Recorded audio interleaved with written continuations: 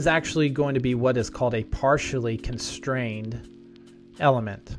Because as you can see, this steel railroad reel is actually going to have some room to expand until finally it hits some constraint at some length away. So let's go ahead and read this problem. It says a 10 meter long steel railroad reel is laid out with a clearance of 3 millimeters at a temperature of 15 degrees Celsius. If the temperature of the reel raises to 40 degrees 42 degrees Celsius, the stress induced within the reel will be most close to what? We're given some data here. Number one, we have a 10 meter long steel railroad reel. It's laid out. It has a clearance of three millimeters before it hits a solid rigid constraint. It's originally at 15 degrees Celsius and the temperature of this reel actually raises to 40 degrees, 42 degrees Celsius. So what is the stress that is induced within? Here's our slide once again kind of telling you the difference between free versus constrained thermal expansion. And as you see in this problem statement, we're actually dealing with a hybrid of the two. It is free, but it is also constrained if it gets to a certain point. So because of that, we call this a partially constrained thermal expansion. We're actually going to use the same two-step process as we did for the constrained problem we just worked. Taking this back to our problem statement, you know, our first step is to determine the expansion that would occur as the object is free. If we determine that the expansion of this steel, uh, the steel railroad reel is less than three millimeters, then there's no need to move on to step two because there's not going to be any stress induced because it's actually not reaching that constraint. However, if we determine that the free expansion would actually be greater than that clearance of three millimeters, then there is actually going to be some stress induced in the reel. So let's go ahead and run through this process to kind of show you how it works.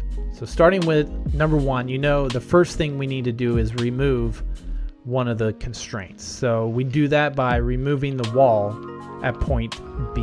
Now we know that if it was free to expand that our steel railroad rod is going to expand some distance because we are increasing its temperature from 15 degrees Celsius up to 42 degrees Celsius. So here's our standard formula for thermal deformations and specifically free thermal deformation. We'll go ahead and pull this back over to our problem statement. I think we've done this process enough times to know that it's fairly streamlined, fairly simple. If we see a free thermal expansion problem on the exam, there's not going to be much effort that you're going to have to put into it because you know it's essentially a plug and play uh, plug and play problem. Of course, depending on the direction they take it, sometimes they might have you reverse engineer into determining what the coefficient of thermal expansion is, uh, maybe what the uh, final temperature will be, something like that, but it will be a derivative of using this free thermal expansion formula. So let's define what is given in our problem statement for our steel railroad reel. So first we know that the initial length is 10 meters. We know that the initial clearance or delta C is 3 millimeters. I'm going to go ahead and convert that into meters. Keep everything nice and clean. So 0.003 meters. We know our initial temperature is 15 degrees Celsius. We know we raise it to 42 degrees Celsius. So there's our temperature gradient. We know that some expansion will occur. And we know from our free thermal expansion formula that we're going to need to determine what that thermal coefficient is or that the coefficient of thermal expansion is. So like we've done from the very get, we'll hop back to page 84 of our NCEES reference handbook and look at that top table, specifically the fifth row, find our, our fifth column, find our row that represents steel. So we're given two variables, which one is going to be used. Looks like everything is defined in degrees Celsius. So our coefficient of thermal expansion is actually going to be 11.7 times 10 to the negative 6 per degrees per degree Celsius. Now, I keep stressing the importance of making sure that you have the correct units. This is a common error, especially under timed constraints on the FE exam. You'll go simply back, you'll pull that 6.5 over, and believe me and trust me, even if you work this problem out to the end, you would find that the option that you get, though incorrect, is presented to you as a correct answer in the options that you're given. So be careful on which coefficient of thermal expansion you choose. So we have everything we need to determine what the free expansion is going to be. We simply just plug it in, chug it through our calculator, and find that if free to do so, our steel railroad reel is going to want to expand 0.0032 meters. So we go ahead and plug that piece of data into our diagram. So this is our thermal expansion. Had the railroad reel been free to expand. And then of course this is the clearance that we have before the railroad hits a constraint. So the question to you is, are we going to have stresses or is the railroad reel have enough clearance to expand given these circumstances. We will actually be experiencing stresses because under free expansion, our steel railroad reel is going to actually want to expand 3.2 millimeters. And because our clearance is 3 millimeters, there's actually going to be some stress induced in this railroad reel. So let's figure out how we're going to determine what that stress is. Again, we're going to place back our constraint at point B, which is going to push our deformation back and create a reaction force at the wall. So our illustration looks like that. Again, look at the blue dotted line. That's our free expansion, which is going to be prevented to some degree due to that constraint that is offset at a clearance of three millimeters. That little segment, however, is not 3.2 millimeters. That segment we're going to denote as delta SC, essentially steel constrained. That little constrained segment is actually going to be equal to our free expansion, whatever that delta is, minus our clearance, because that steel railroad rod is going to be able to freely expand all the way up to three millimeters without any stress induced. All we need to know is what is that little segment or how much more does it want to expand past that point, which will create the stress. So we plug in our information. We know that our free expansion is 0.0032 meters.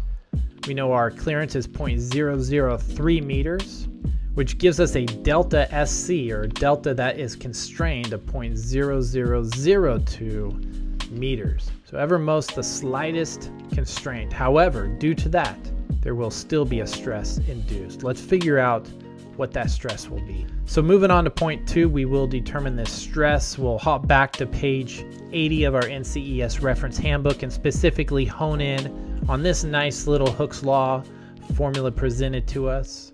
We'll pull it back over to our problem statement generally. And let's take a look at the variables that we're given. We're given length, we know delta, we know temperature. But if we look at Hooke's Law, it actually wants us to determine what the area, the cross-sectional area, as well as what the Young's modulus is. Now we can determine what the Young's modulus is simply by going back to our property tables. However, we don't know the area. It's not given. It's just not part of our problem. So we have a little issue here, but obviously in reality we don't. Let me show you why. If you hop back over to page 80, we see that there's another relationship of Hooke's law, which is given to us here in this form. So let's pull that back over to our problem statement. This same formula, let's pull this back to our problem statement see how we can use this. How can we use this? So looking at what we're given, we can, or looking at Hooke's law, we can determine the Young's modulus, E. We want the stress, sigma. We don't have the strain, but if we look at the companion formula, we do have the delta divided by L, which is the strain. If you recall back from our second episode during our Mechanics of Materials series. So the strain is the change in length divided by the original length. So all we have to do is marry those two formulas together and create our own formula. As you see right there, it's equivalent to what you saw in the reference handbook. However, like many are given in the reference handbook, there's more that we can actually create based on those same relationships. So this is actually going to be the formula in this case that we're going to use. So it looks like we have most all this information except for the Young's modulus. So let's go ahead and hop back to page 84. Again, referencing that top table, that first column. We know we're working with steel. So again, we're going to use 200 GPa. So gigapascals is going to be our Young's modulus, or our modulus of elasticity. So with that, all we simply have to do is plug and chug. We got our delta which is represented by only the constrained portion. Again, this will be a simple uh, mistake many will make on the exam by putting the full 0.00, 0.0032, the 3.2 millimeters. But really, all that up until 3 millimeters is free to freely freely able to expand. It's only the final 0.0002, so we put that into our formula calculated out to determine that our stress induced is going to be 4,000 pascals or simply 4 megapascal. And that's the correct answer. So looking at our answer options, answer B, 4 megapascals is actually going to be our correct answer.